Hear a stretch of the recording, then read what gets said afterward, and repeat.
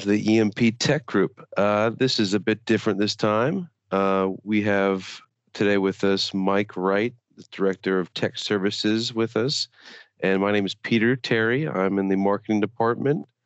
And today we are going to go through uh, a feature of Seagull Scientific's Bartender, uh, a feature that allows you to email from Bartender directly. Um, and Mike uh, knew about this uh, this sort of tech tip, if you will, we're calling it for today. Um, but we never had the right situation where we could implement it. So Mike today is going to kind of take us through from start to finish uh, the pros of being able to do this, use this feature, and then also um, uh, almost a step by step uh, on on how to get there from point A to point Z. So, Mike, do you want to kind of take us through a little bit of um, where you start and um, and uh, how we get to the end of it? Okay. So, a little background: we had a customer come to us who's been using Bartender, and one of the things that they print from Bartender is a bill of lading. And typically, they print it out, give it to the truck driver, and then when he arrives, he gives it to the customer and their customer um, asked them to get the bill ladings ahead of time. So rather than print them out, scan them, email them to them, they wanted us to automate that process. Um, so what we'll go through is basically the steps on how you can use Bartender to create uh, a document and then email that document. So there's two tools I'll be using. Uh, the one I currently have up on the screen is Bartender Designer, and this is where we design the label that we're going to print out. And I'm working with something very simple, just a little bit of text on the screen, something um, that I can put some dynamic information into. And um, the dyna dynamic information is tied to a embedded data with a name so that we can change that value when we print print this document. So that's Bartender Designer. Then the other part to this is our is the Seagull's Tool Integration Builder, and this is a no-code integration. So you can um, make Bartender work with a lot of different um, with different software systems without having to write any code. Um, the current one I'm working with is a database integration. So the um, integration looks for a change in the database, which you can define. And in this case, we have a column in the database called issue. And when that value is false, then it means that I have a new record that we want to use to create a document and email that document. After the integration is done, then it will mark this as true so that um, anyone looking at the database knows that that um, data has been sent to the customer.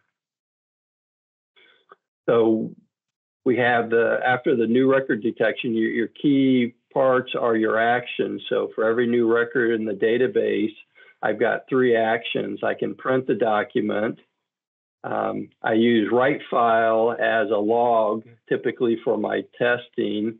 Um, if things aren't working right, then I can I can write certain information to a file and and debug my integration, and then the actual send email. And since this this test is for just emailing the document, I've got the uh, print capability disabled here and the write file is just going to a, a, a flat file on my hard drive. So the um, what we're really working on is the the email portion. So this is pretty easy to set up. Um, everything you see in here that's a um, a name, fault, uh, with a percent name, percent is dynamic data that comes out of the database. So right from my database table, I'm getting the subject, I'm getting who I'm sending it to, hard coding the reply, and then a little bit of message with some dynamic data in that. Right. And right. then and then we have the attachment. And so the name of the document can be dynamic and then um, where I'm pulling that document from. So it's it's all pretty simple on the account side. Um, I'm using a Office 365 um, account to do the email. So I set up my credentials, set up, did the authorization, and the integration then remembers that um, authorization, and I can I can send from that once I've set this up. Testing's pretty simple. I go to my test tab. Um, this is a record of the last time I ran it.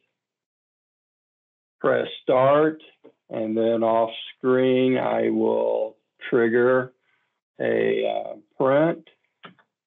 And if we watch here, it detected the new record. It's telling me that I had disabled the print, executing, um, and then it's the email was sent.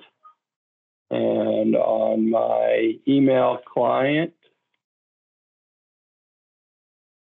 I have the new test email from me. So the Hmm, body yeah. that I put in there um, and the attached document.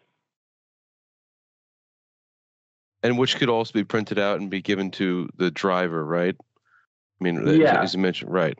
Yeah, so you can, along with um, printing the document, you can, um, there's lots of actions you can put in here. So you can still have your hard copy along with emailing that.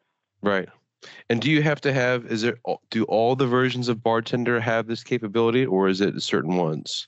You need to have at least the automation edition. So automation or enterprise automation, those two support this feature. Nice.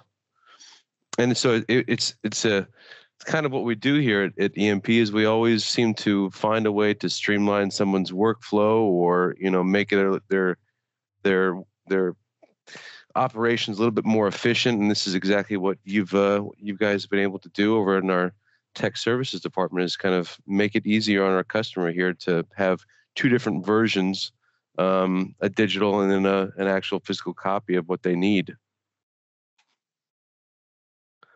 Well, this is great, Mike. Thank you so much. I really appreciate it. Um, as always, you know we are uh, we are constantly here to help you uh, figure out better ways of doing things. And um, as as always, best way to find us emptechgroup.com.